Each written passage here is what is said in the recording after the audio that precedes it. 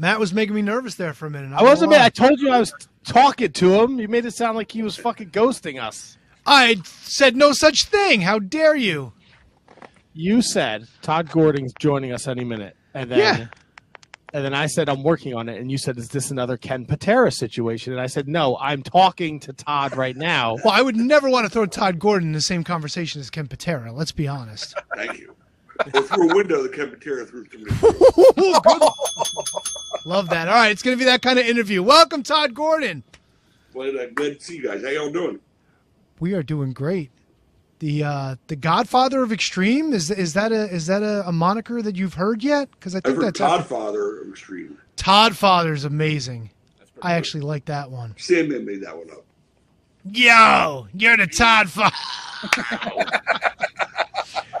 Come on, you you've got to do some impressions. You had some characters come through that locker room. Who's your who, who's your go to? Well, is the easiest one. I mean, my God, I'm with him so often, even now, that it's so easy to do him. It's hard not. It's hard to tell a story about him without doing him.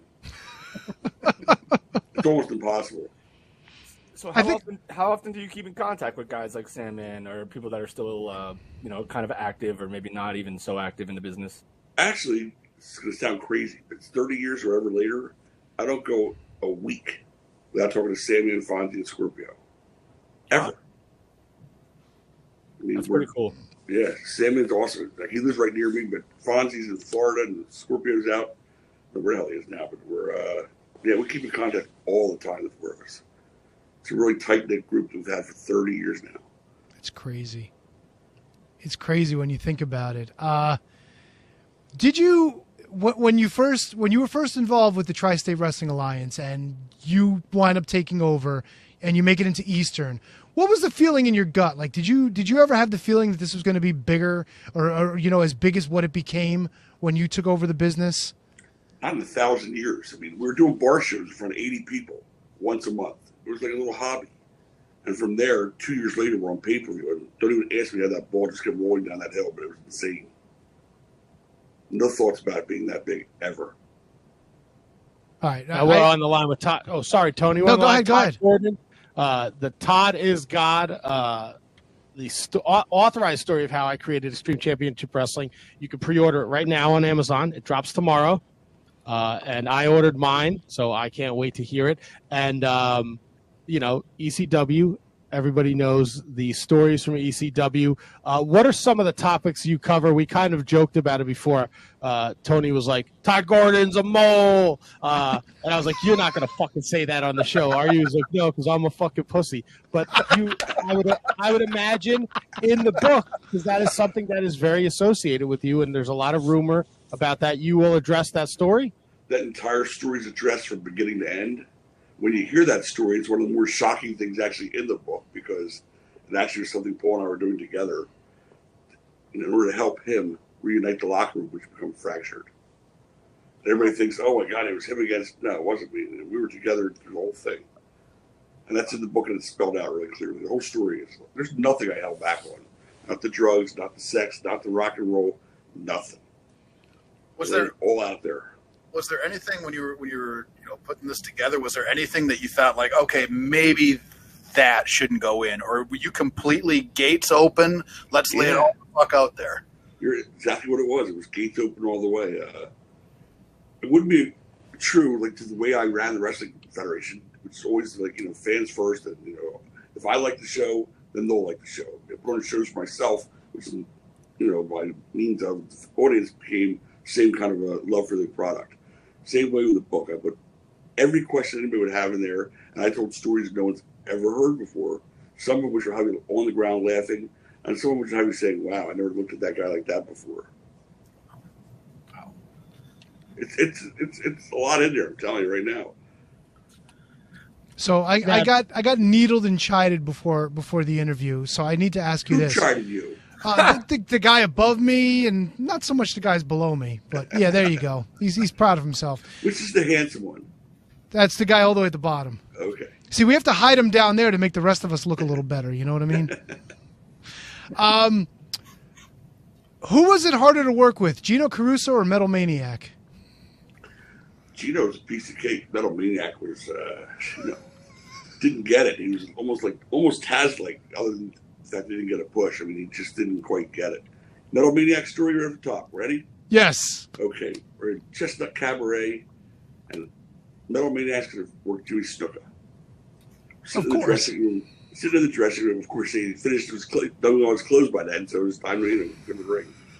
Uh, he's in the dressing room. Ivan Koloff sitting there next to Jimmy, and Jimmy goes, "Ivan, gimmick, a blade."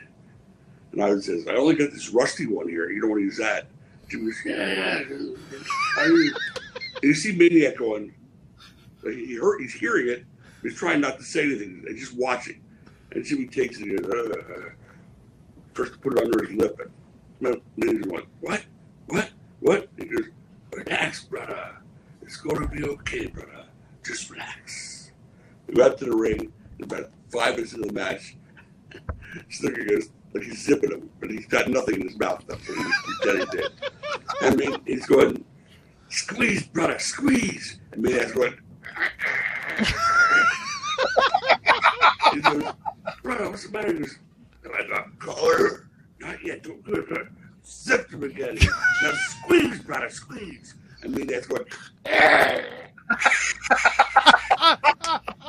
I'm thinking of veins in the top of this guy's head to actually give him color. I mean, that's how crazy that was. That was just a good ribbon stuck at it, pulled on uh, Normaniacs. First story I came to. That's He said his name was the first one I came up with. Did you, did you ever ask the Metal Maniac to paint your face? No. no. My house once. Not my face. I hope it didn't look like his face. Jesus Christ. when uh, so do you go to Sean Oliver with this idea, or does he come to you, or is there a middleman that decides, hey Tod, you have all this history with ECW. People are still in love with ECW 20 plus years after it ceased to exist because we don't recognize the WWE version, or at least I don't. Don't Good. pay any attention to the chuds below me. Um, whose idea was it for you to write this book? I did two DVDs, uh, playing uh, co- uh, commentary with Sean. And after that, we became friendly. So we just, you know, the phone bullshitting or whatever. And he'd say to me, uh, Oh my God, tell me the, story about. And I tell the story. He goes, You've got to put that in the book. I said, There is no book. I'm not doing a book. You got to do a book. This went back and forth for literally two full years before I finally agreed to do the book. And he said, You've got to put this out there. You got to tell the true story about what really happened there.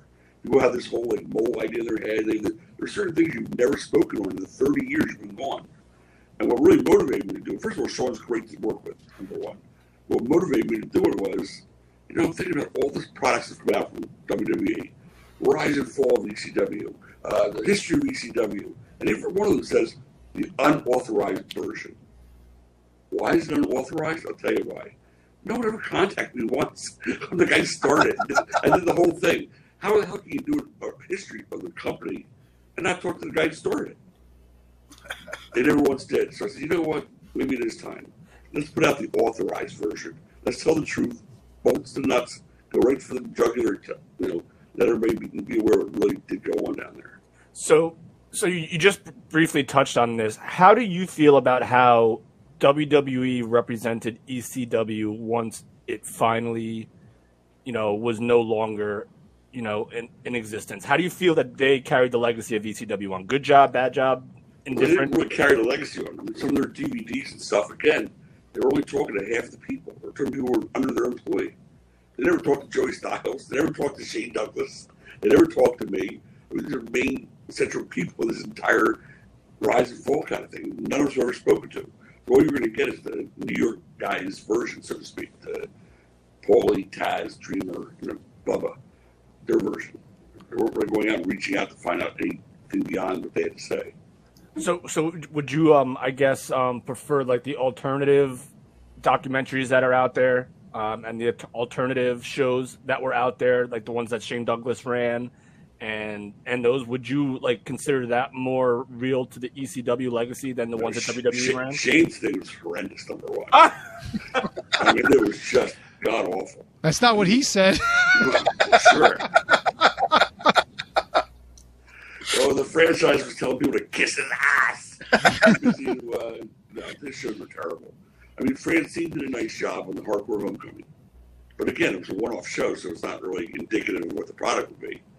And it's pretty hard to ever replicate it, honestly. I mean, it, was, it, was, it was lightning in a bottle. It just, it just happened. It was this combustion between us fans, uh, symbiotic relationship we all have with each other. You know, where they were part of the show, and we they, we loved that they were part of the show, and they were equally the biggest part of the show as Sandman, Sabu, or anybody else was going to come out.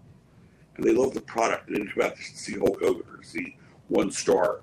They came out because they liked the product. They had a chant for every wrestler that came out. Ergo the Tod is God, by the way. That's you know, from fan chant. It's not a religious metaphor. It's uh, the fans are yelling that when I come out to the ring, so that's what we with the title of the book. We even argued about that because I didn't want to use that as a title. But Sean so- insisted.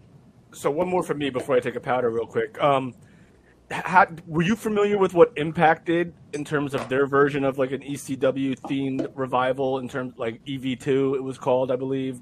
Do, I know they tried to do like a like an uh, invasion, I guess it would be called. They brought like four or five guys in, yeah. but you know, again, it just wasn't the same thing. You, you didn't have the right crowd. You didn't have the right music. You didn't have the right any of the things that made the whole thing click. I mean, it was more than just one thing. More than just performing in the ring. It was from the entrances all the way through. It was really a well put together machine. Copy. Yeah, it's crazy. We talk about it all the time. There's a generation that's going to watch ECW on the Peacock app, and they are going to think that this is the original intro, and this is the terrible music that New Jack came out to the ring to. Oh my god! it's like it's gutting. And they're going to To think know the that Public the- Enemy is going to skip to the Lou My Darling. I mean, what the hell was that? That's an embarrassment. That was really so critical to our success too. Not that we didn't right to use that music. We had no rights to use that music whatsoever. So of course it would have caused Vince a fortune, but we got away with using any music we just felt like using. Yeah, it was iconic. You you uh, you uh, related to you know if I you heard "Welcome to the Jungle," it was fucking Bam Bam Bigelow. You know, it, it was something from ECW always resonated in our heads. The book, which is available tomorrow. Oh, I'm sorry, Tod. I just said Enter Sandman. Here comes the hot stepper. All that was. Uh, Oh, yeah. oh yeah. Oh, the book available tomorrow. You pre-order today. If you're watching this, you're listening to this, you can pre-order the book on Amazon. Uh, Tod is God, the authorized story of how cr- I created Extreme Championship Wrestling, full of great stories. Is there anything that ended up on the cutting room floor where you're kind of looking back and be like, man, I wish I put that story in? I can't say that so much as we had to cut hundreds of pages. I mean, because all I here's how we did it. Sean and I would talk via Zoom maybe two hours a day for like three, four days a week for like seven months. And all I did was sit there, drink, smoke, and tell stories. Like I was in the locker room talking to one of the boys. I go, what do you hear what Sandman did this time?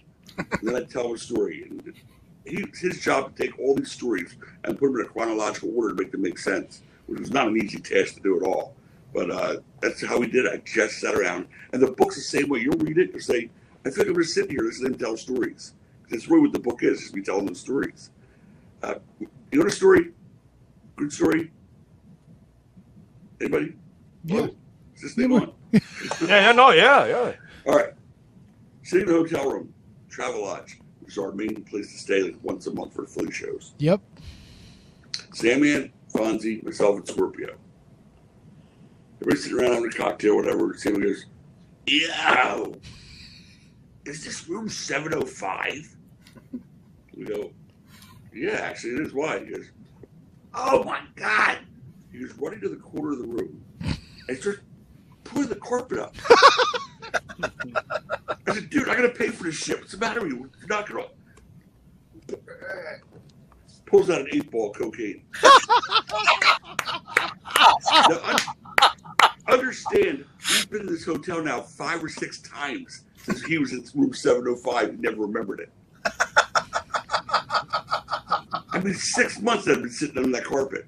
And he goes, Oh, ah, squirt, squirt. Yo, come with me. He was walking down the hall, you know, snot rag in his pocket, his bare feet, and Scorpio was right behind him, Fonzie and I right behind them. He was helping me move this big gimmick. And he picks this big like vase up. It's out by the elevator, like this giant like statue. He lifts it up. Ah, I got another one. At this point, the four of us, at least the three, we are rolling on the floor. We're laughing so fucking hard. It was just so Sandman. Six months later, he got like a knock to the head. He was, oh my god, I got a half. half an ounce of Coke here. It's crazy. Yeah. I, That's, I the can kind- that's the kind of stories are in the book. I can only imagine what's going through his head. Like, what made him hide all this shit all over the seventh floor He, of the travel? living in Utah then. And he had to take flight home. Oh, bring it with him. makes sense. But Gotcha. like- But he came back four weeks later, forgot. Eight weeks later, forgot. Twelve weeks later, forgot. Six. That's hack. So, so um, I happened to uh, brush upon a headline. Uh, I guess you, you sat down with, like, I guess, Mike Johnson, or Mike Johnson wrote, wrote a, a piece for you on PW Insider, and the headline is not just about ECW, but it's also about life. Like, what would you say would be like the most important non wrestling thing you would have to offer in this book that you would want people to pay attention to? Uh, really, towards the end of the book, there is one chapter on, my sister, who was my best friend in the world. And we lost her uh, a couple months before COVID started. Not from COVID, but to Ah, brain cancer. Oh, And there's 12 months of being there, watching her slowly but surely. PhD, it's brilliant. Like, businesswoman slowly, you know, fall off into like first childhood baby and then incoherency. And sitting through that and living through that was the hardest thing I've ever had to do in my life. Right. And it's not a day goes by that I still don't think about her and miss her. I- So that'll be one of the most. It gives you a chance to say, "Hey, appreciate what you have now because you, you don't know if we'll be here forever." Right. And I, I lost a brother, so I totally understand what you're going through. And I didn't mean to bring the mood down. So no, no, no, that's okay. But you asked me that. yeah, That's what Mike brought it up, and I think he made it. It was a beautiful review, by the way. yeah, I really good. appreciated that. Yeah, Yeah, he yeah. wrote a beautiful story. So let's pick it back up real quick. Who would you say? Because this is something that we always, like every wrestling fan talks about. There's Mount Rushmores of this, Mount Rushmores of that. I'm not asking you for a Mount Rushmore, but if you had to pick one professional wrestler that ever stepped through ECW's locker room, who was the most influential wrestler that meant the most for E ECW?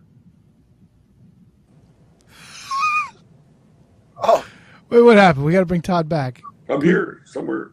Oh, yeah. Uh, how did that? Matt, what did you do?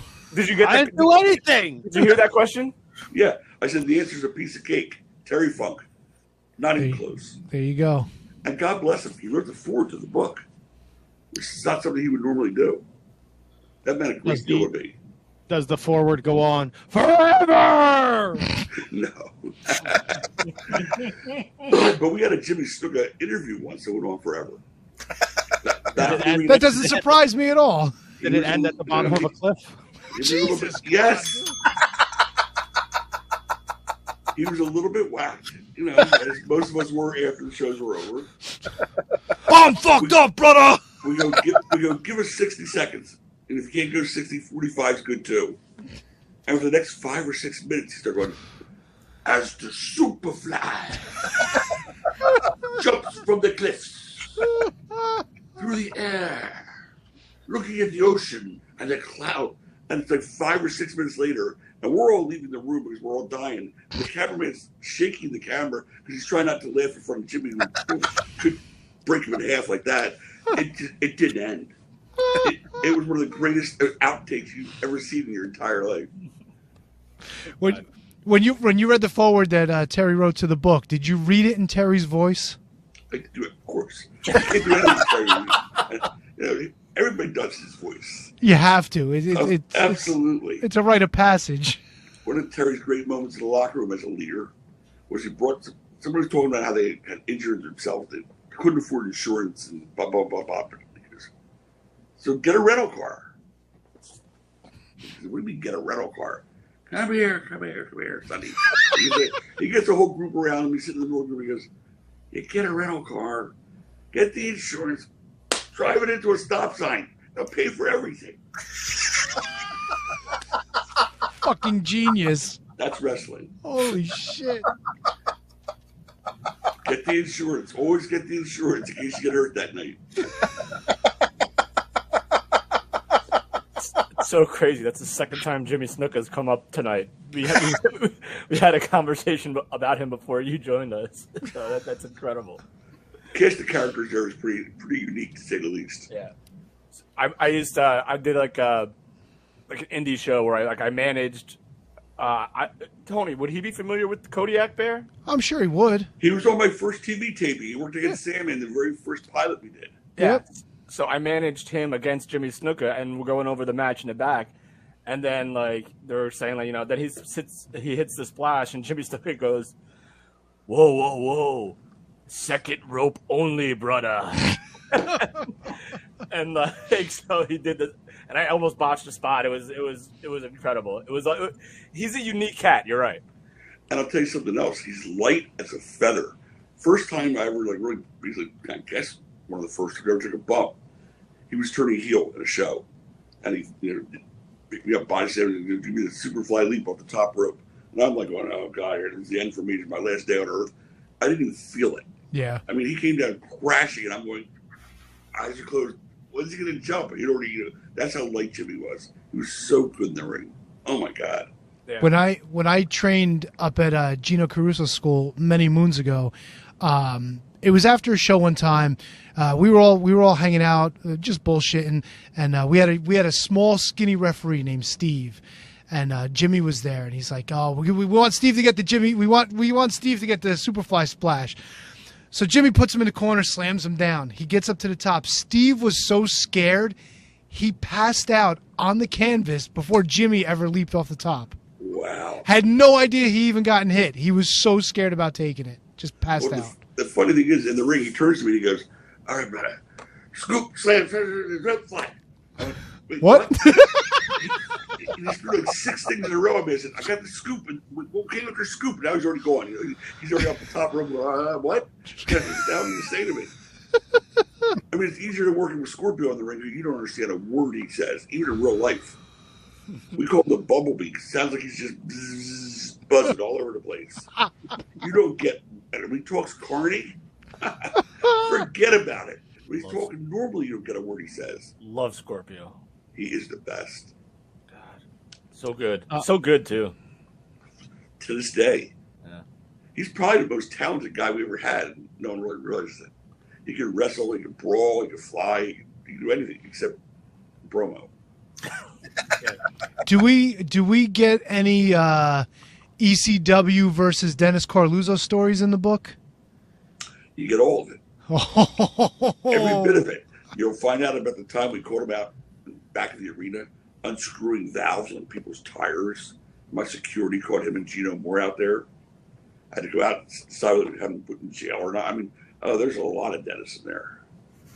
You know, it's funny you mentioned that. I just I was just listening to an interview with uh um oh gosh, who was that? Mario Savoldi, and uh, they said when somebody was running opposition to WWE, like the late '70s at one of the at the Armory in Jersey City, that they did the same thing. I guess letting air out of tires of fans was a thing. I don't know. I mean, he did everything he could. If he had put 25% of the energy he put in trying to bring us down in his own company, maybe he could have made it successful. But he got so obsessed with our success that it was insane. He'd call every building before he went in there, call the fire commissioner. I think they're over, and we were always overloaded. Wow. They come in and start counting heads. He sent tapes to churches. We were renting out the facility in Scranton or here, wherever it may be, of what we the kind of stuff that they're going to see when we go on. I mean, he was brutal. We're in the car time, me and Cactus Jack, and Cactus Jack said, I think that show's canceled. I told him, "Was it?" Dennis called them up. He told them, you know, here's the violence. He sent him a VHS tape. And they canceled. He got out of the car. There's no payphones then. Jumped on the highway, got on the, and called him up on a payphone and cussed him out like I never heard Foley go off ever. He said, Don't you take food out of my fucking kid's mouth. He was screaming, yelling, Who is that guy? It's so, you know, it's not the way make kids normally. But, yeah, he, he was pissed. Yeah, that's one thing I learned about with Foley. Don't, don't I mean, it, you know, it's every wrestler, but don't fuck with the man's money. Like Foley's like one of, Of the course. probably the nicest guy in the business. But I there was a story that he told about Stranglemania with the ICP when they when they put all the footage from Japan in their video and they and they dubbed over it. They sold thousands of copies, and Mick was just like, you know, I think you owe me a couple of bucks. Yeah. and they paid him. Of course, they paid him, but still, don't don't cross a man for his money. It's because there's a Mick Foley stories. Uh, driving home from, I think it was in Boston, we were driving in the cars. Me and Sandman in the back. Uh, Foley was up there. I think Raven was driving. Sandman, of course, you know, he's peeing in a bottle the whole way home because he drank so much beer, my God, he couldn't even. Will you stop doing that? No, Cut it It's out now. Tod. It's not us. I swear. No, it's that guy at the bottom. I'm telling you. Ah, not me, buddy. Not me. No, the guy, you're not at the bottom anymore. Ah, Yeah, we, we stuck Matt in the bottom where he belongs. Technology, baby. All right, so so it Sandman had- was filling bottles. Yeah. It was in a van, and then the windows in the front had one of those like where you open up this little side piece, like the whole window didn't come down, it just a little side little part that opened like this far, thus far. Oh yeah, yeah. Okay, you remember those? Oh yeah. Timmy goes, "Yo, Mick," and he goes and hands him his uh, jar. It. Foley goes, "No, I don't drink beer. I'm sorry." I'm like, "Oh my god, thank God you don't drink beer. If you take a slug out of that, you'd have fucking wanted to kill every one of us in the car." Like, "It's not beer, piss, dickhead." Welcome to ECW, guys.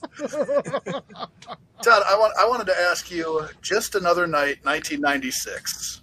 You and you and Fonzie go. I mean, was it just around three minutes? I think Bam Bam, Bam Bam was in your corner. Taz was in Fonzie's corner. So I just like having you and Fonzie put together that match. Walk me through it, man. Like, tell, t- tell me something about just another night in 1996. Yeah, three minutes is all you really need to know. Before we expose shit, let's go out there and slug this. And we did that every time we were in the ring, by the way. We did that at work. And we did not want to be like a Jim Cornette versus Paulie tuxedo match or Missy Hyatt. We said, these people are, you know, we're preaching our hardcore lesson forever. We go out there, let's just beat the shit out of each other and fuck it up. And that's what we did every time we were in the ring together. Yeah. You asked Fonzie how many lumps he had and how many. Believe me, we, we, we beat the hell out of each other. So that night we said, let's go bum bum bum, beat the shit out of each other for a couple of minutes. And Taz does his interference, Bam Bam does his. And then everybody's watching them anyway. After that, they're watching Taz and Bam Bam. But yeah, every time me and Fonzie had a match, especially uh, the first big arena match, we, we beat the hell out of each other. Yeah, because just another night was not a big arena match. That's that's for sure. that's for Glenn sure. Olden, maybe? Uh, God, yes, yes, yes. Okay. I And don't know then- where that came from. I wanted I wanted to ask you. Uh, obviously, very excited for the book. Uh, I'm excited to read the book. Uh, big, you know, big ECW fan. I, I uh, I'm out in Minnesota. We really had to go out of our way to pay attention to ECW. Uh, so big fan. Looking forward to the book. But my question is, somebody who's not a wrestling fan, Uh, what is going to pull them into the book? What is it going to make an enjoyable read for somebody that's maybe not, you know, not into into wrestling? Well, I guess the, the you know the thread through the story is basically a guy who was a wrestling fan. That's all I was, was a fan, just like you guys, anybody else. I was right there in the audience, you know, watching. it. I loved it. And then a matter of a year and a half, you know, we the third most influential company in the whole, the whole country.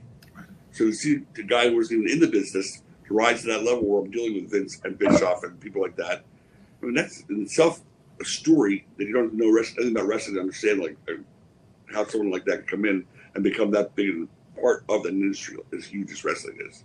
So very much a very much a success story in a lot of ways as well. Yeah, some ways, yeah, absolutely. But yeah, there's a lot of that, and there's um, how you start, how I started, how we get started the promotions to begin with, North Eastern, and how we literally took step by step to grow that, and the whole thing with Eddie Gilbert coming in, and where it was like with Eddie, and then from Eddie the transition to Paul, which was the end of their relationship. Uh, I hit on everything.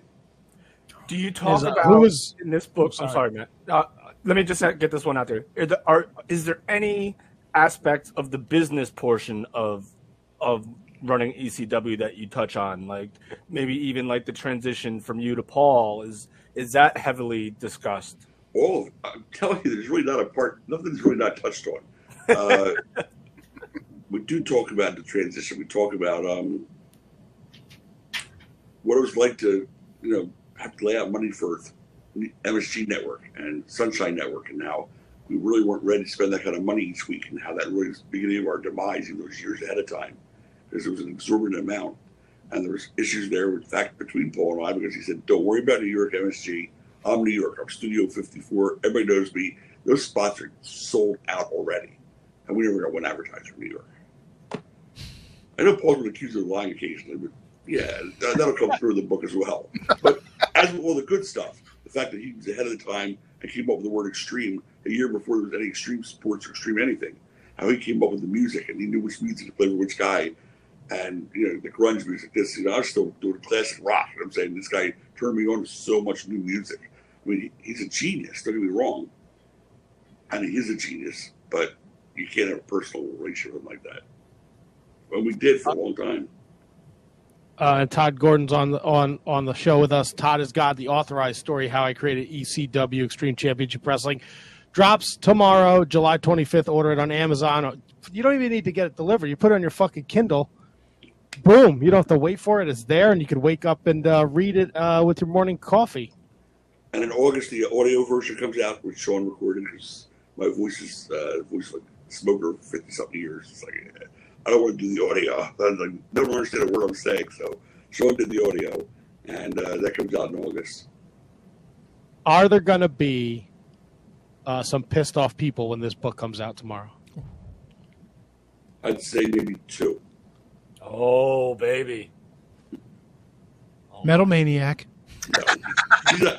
He is in the book, actually. The story about Snuka and Zippin, I think, is in the book. Uh, but no, it'll be one or two, two people, maybe. There's really weren't many people that need, you know, I need to shoot on, to be honest with you. Everybody else was like, I came in contact with, was, I had great relationships with. Mean, Public Enemy and I were best friends. Uh, they both passed. The Pitbulls. I mean, these guys are, I'm still boys with Gary and Pitbull today.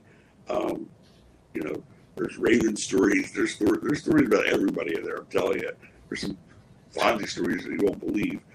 One time we're in Pittsburgh, and there's Scorpio, there's Sam and I. And we go, where the hell's Fonzie? We can't find him anywhere. We just got here. It's like early morning flight. We've been up all night partying. Can't find him. Now the bags are coming down the chute. And as the carousel's going around, there's Fonzie sound asleep on the carousel. The bags are coming down and hitting him on the head. you can't make this shit up, right? Is there is there somebody that came through the ECW locker room that you think could have uh, should have accomplished more in the wrestling business? Maybe JT Smith. JT Oh. Smith was incredibly athletic and talented. And if he could have cut a promo or at least been a little bit more forceful like Scorpio is, he could have been the same kind of talent. So just just really remind me real quick because I, I I think I know who you're talking about. JT Smith is is the Canadian who spent a lot of time in Japan, or no? No, JT Smith. No.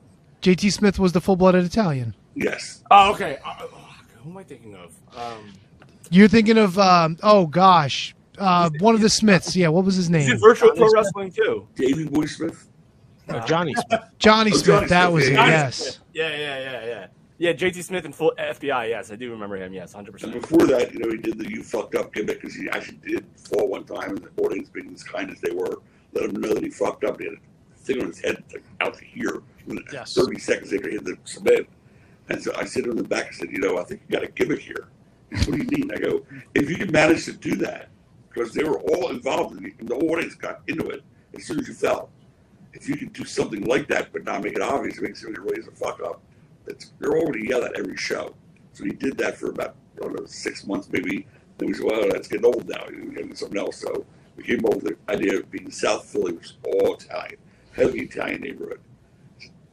Nothing they more than black people. Why not come out and sing Frank Sinatra? Really, really get, get some heat there. And he came out and he did Sinatra, and at first they hated it, and then eventually they loved it because the more of a heel you are in this town, especially in Philly, the more over you are. Well, except for Bad Crew. wow. you really do go back. Oh, I yeah. do. That, You, uh, that's the bad crews who got us into Allentown. Yeah.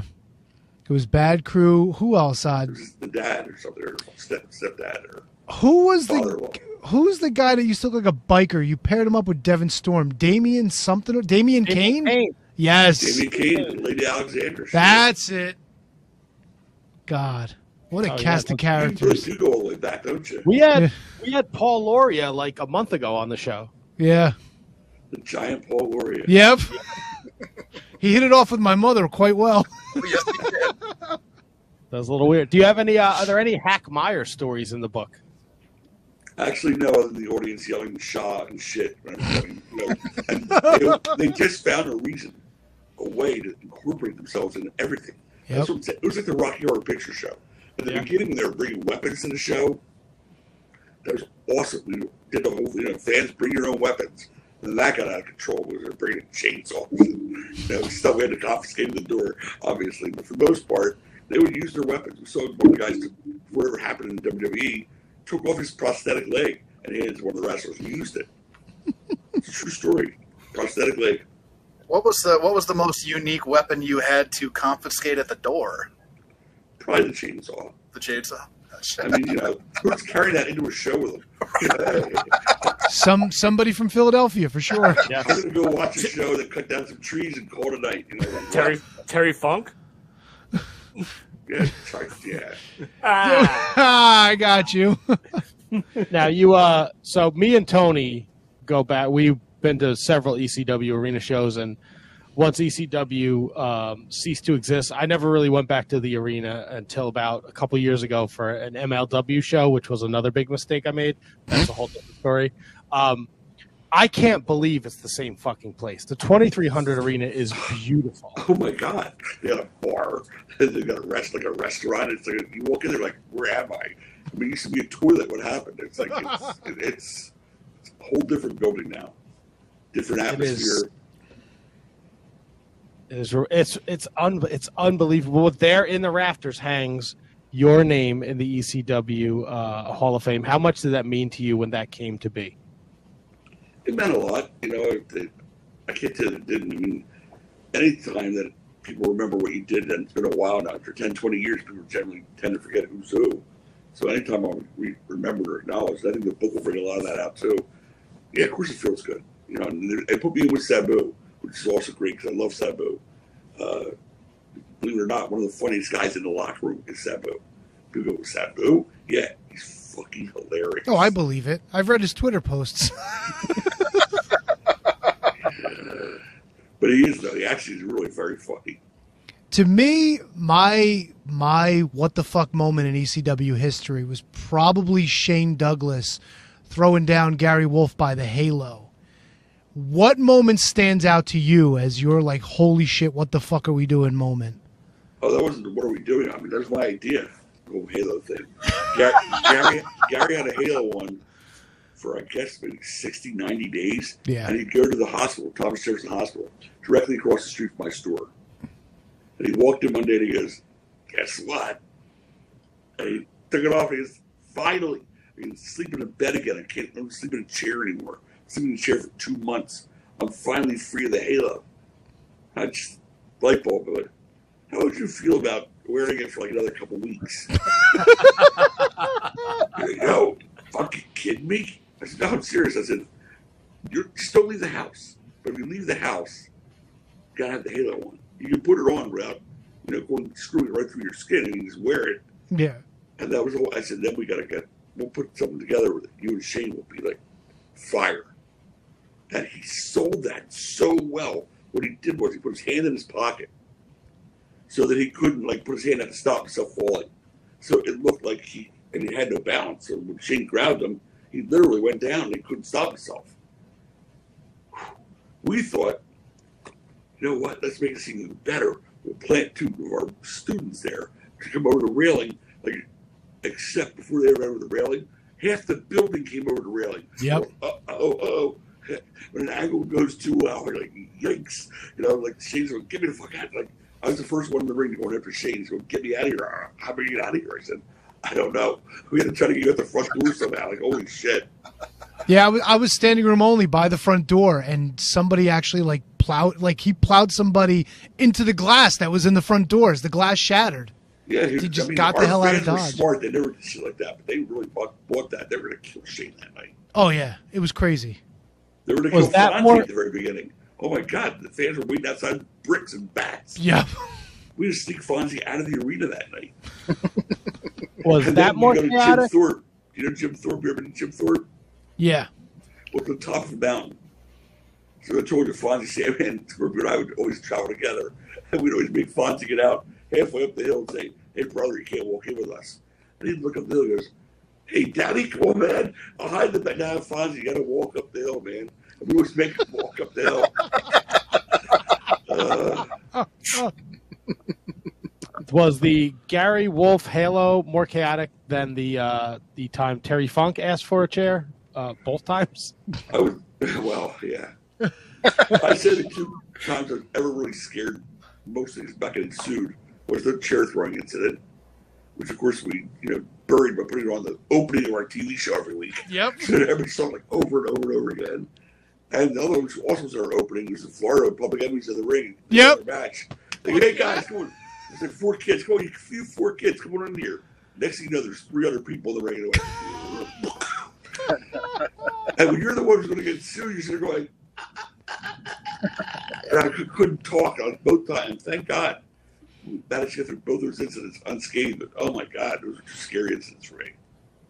That is those those images are burned into my brain like the uh, the night kimono wanna lay a dance to top these ECW. And God bless her for that. Yeah. She saved our asses. that Yeah. I mean, it's 120 degrees in that building with all the people in there. The air conditioning didn't work for shit. And the ring breaks. And we're going not to Al, it's 911 and his crew. I go, how long is it going to take? Well, uh, we could mail away for a piece. I mean, yeah, that's we're in the middle a show. You realize that, right?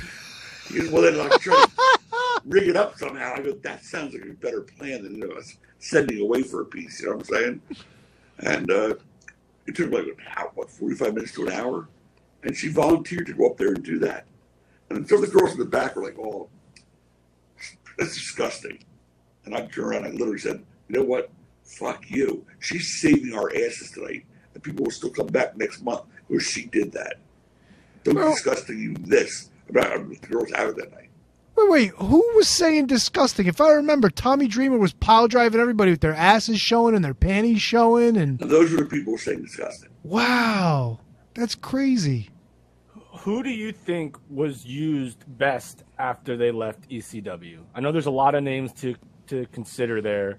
I guess Bubba. I mean, he became the biggest star when everybody was there.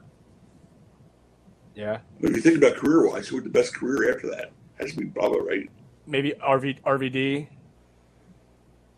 maybe Lance Storm mean, in WCW, maybe. I mean, maybe Taz. Taz got into broadcasting, you know. Yeah, they all had. I'm saying that, that there weren't other people that were successful. Right, right, right. But he right. went from company to company. And to this day, he's headlining indie shows. He, he wants to step into a, a NWA show. He can stay. He can step into any federation. They're welcoming with open arms. Yeah. 'Cause Would He's, you, uh, you know, he, he's a tough guy. Would you put Jericho on that list? You know, Jericho wasn't there that long. We, we were the first it ones to bring him in, and I remember him working with uh, Pitbull too, and um, there was a four-way dance. And Yeah, the Scorpio. four way. It was a great match. Who was the fourth one? Pitbull two, Jericho, Scorpio. Oh gosh. Douglas. That's No, when that's so. when Francine turns on the Pitbulls. Dur- during the four way with Jericho. Yeah, Jer- Jericho was the TV champion, and he loses it to Douglas. I think that's his out. Okay, so again, he was. You know, we, we knew we saw something. We said, this guy's got, psh, he's got a lot. I mean, He's, he's a hell of a hand. You know what I'm saying? But he wasn't there long enough for me to say it. I'm an ECW guy who made it big. Yeah. And Right. Somebody saying Steve Austin was an ECW guy, but he wasn't.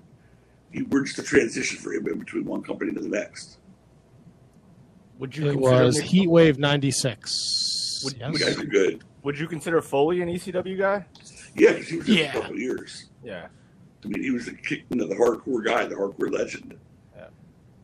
Uh, we we watched uh we watched one of those uh I don't know, hidden treasures, whatever the show is that WWE goes around and I guess Foley's one of the hosts now. And uh you know, for years he had long hair, so now without his long hair you see his mangled ear.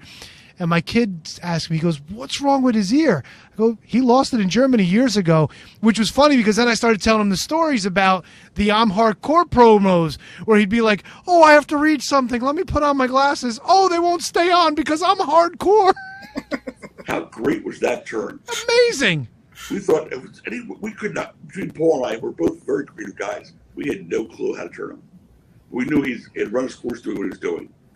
And we approached him. He said, let me think about it. He came back with that and says, how about if I go anti-hardcore? I do everything but hardcore. I mat wrestle. I don't give fans the chair shots. I don't give any. And damn, that didn't work. He actually turned himself heel in front of a crowd that idolized him. And that, and that all stemmed from the Cane Dewey sign, didn't it? Well, he used that as his Yeah. fulcrum, yeah.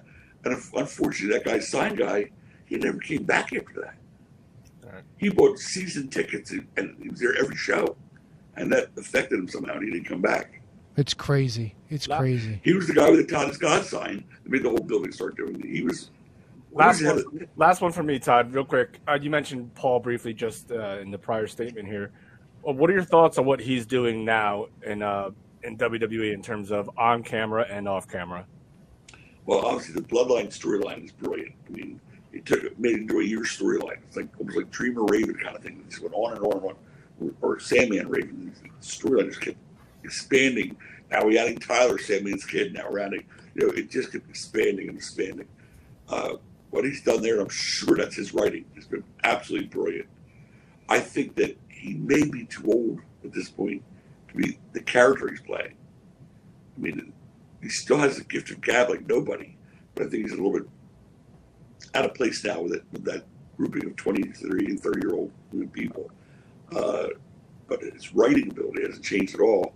And his ability to get someone over hasn't changed at all. The promo, I just think he's a little bit too much in front of the camera. You think it's a rib that they make him carry around those two championship belts everywhere? Uh, no, they do better ribs than that. There, uh, I think he, I think he likes that whole. I'm sure everything he's doing out there, he, it's his decision. Yeah, but those suckers yeah, got to be heavy to hold for like 15, 20 minute promos Oh, yeah. and all. But they, you know, they give him a lot of leeway there. He's got a lot of rope. Oh, for sure.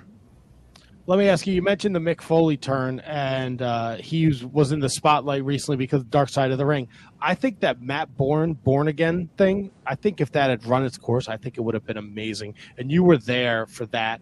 Um, is it sad to see someone like Matt Osborne in that condition? Like that idea Yeah. was fantastic. Like he was fucking Doink the Clown, and he was like being reborn with Shane. Like kill the Two-Face. clown, fucking nine one one. Yeah, yeah, it was Two Face. Yeah, right out of the comic strips, and that was a great concept. Since then, I've seen Dustin do it. I've seen a couple other people do it, but yeah, that's the first time we had seen that. That was that was really great. That was great. It's a great idea that never got to run its course. Yeah. such a shame because I think there was so many, so much legs with that, especially the anti W. Oh Ah, yeah, Brilliant stuff here. Uh, we're on the so phone with- talented. We're on the line with Tod Gordon, the authorized story of how I created ECW, available for uh, pre-order tonight, and then tomorrow you just buy the book. You put it on your Kindle. If you like uh, to hold a book like I do, I already pre-ordered mine, so it might take a day or two to get here. But it's definitely if you're a wrestling fan, uh, you've enjoyed this Tod Gordon interview, you like ECW, you just want a book that kind of, uh, as Kevin said, is kind of a success story. Uh, you should definitely check out Tod as God, the authorized story of how I created Extreme Championship Wrestling. Tod, do you have a favorite story that you tell in this book? Well, you know, my favorite angles was like the Sandman blinding angle. I mean, that was possibly the best angle we ever did. Yep. I thought. I mean, we had a bunch of 1,500 people there. Literally, a thousand more were smart to the business who thought nothing could be walking out and saying, Is there an ophthalmologist in the house? no. Okay, good. But that was so real. The wrestlers were calling me up for two weeks. Have you heard from Sandman? What, what's going on with Sandman? The sheet writers, like talk about Dave Scherer, who I respect tremendously. Tod, Sandman, okay? We don't know. Like everybody bought that. Everybody. And we never smartened the boys up. Till the night he came back to rip the bandages off. And he wouldn't answer his phone. I mean, he's great like that. He knows how to play, you know, play the angle out. So he never took a wrestler's call. Pete's always had to answer the phone. Says he's not taking any calls. And the boys were like, "Holy shit, man! Saban really blind. Like, well, that's fucked up." So when we did that, that was that was really a great angle. And he's so smart to the business. The, you remember fucking a Box? Anybody Yeah. Funk in a Box? Yes, Yeah. was that uh, that they did that with fucking stupid DC Drake, right? Yes. so the whole idea was that Sammy couldn't wrestle, he had concussions. So he comes out, all dressed, and he's to bring out his guy, big box. Out comes DC Drake. Of course, the crowd shits on it. That's what we wanted them to do. Sammy starts fighting with him, and he knocks him into the box, and he pulls him out with the blanket on top of him, pulls it off in the ring. It's Terry Funk. What made that angle work was Sammy was smart enough to go to the store and buy two pair of red, white, and blue sweatpants the exact same sweats. None of us saw that. They pull Funk out of there in a different outfit. You know right away when you his bands. But Sandman made that angle work by thinking it through, going, God, looking the exact same when it comes out. He's covered from the top. Only you're only see his bottom. And that's what made that angle go. What a great angle that was. That flag came off of funk. That place went berserk. It was a great angle. Incredible. Absolutely incredible, Tod. This has been an unbelievable talk. Uh, I am super excited for this book to drop tomorrow. I can't wait to get my hands on it. I hope you enjoyed your time here. Guys, I had a blast here. I hope after the book comes out, you read it, we can do it again, discuss it. 100%. 100%. Absolutely. Cool. Absolutely. You guys, are, you guys are a great show. Thanks so much. Oh, Tod, thank you, man. It was an absolute pleasure. I'm so glad we can make this work. And I'm again, I can't put over how excited I am for this book tomorrow. Thank you so Before I much. let you go, I got to ask. I ask everybody this question every time. Oh, here we show. go. Oh, no, no. All right, Tod. Got to do it. When was the last time you shit your pants? Childhood? I mean, I, I don't know. I couldn't That's tell you. fair question. Certainly not in the ring. That's what you're trying to get at. No, I can't No, ev- look, ev- look. Everyone's got a story. Some of the wrestlers maybe they make bad decisions in their uh, travel travel snacks. Yeah. Uh, No, we, not, not me. Sorry. no, you're in that. Tod, I'm going to let you know a secret. You're an outlier. You're one of the few that didn't have a shit their pants story. Yeah. I that's also only true. wrestled a few times in the ring, so who knows? Yeah, but it's not just in the ring. It's just in life. Everybody, you know, shits their pants, or at least I like to tell people that. okay. We'll talk about that later. He literally just said it was a great interview and a great show, and then you hit him with the shit your pants question. Hey, cream rises to the top. You know what? When when Tod comes back, the first story he's going to tell us is he's going to say, "Guess what? No sooner I I was- was off the air with you guys. than- Icons of wrestling. I had a line. Hundred deep signing autographs. I had a fucking something for the diner that morning, and I thought, I shit my jaws. guys, thank you. Thank you, Tod. Thank you. We'll Pleasure. talk soon. We'd love love to get you back on after we all get a chance to meet the book. 100%. I talk enjoyed about it it. that much. I'd love to come back. Beautiful. Thanks again, Tod. Best You of luck it, with the book. Thank you so Tod much. is God. Tod Gordon, uh, the authorized story of how I created Extreme Championship Wrestling. Pre-order it right now on Amazon or tomorrow when it comes out or wherever you get your books. Uh, and oh God, you're looking good, T Donk. I'm always looking good. Look at me. You look very svelte. Thank you. That was awesome. Tod's an awesome dude.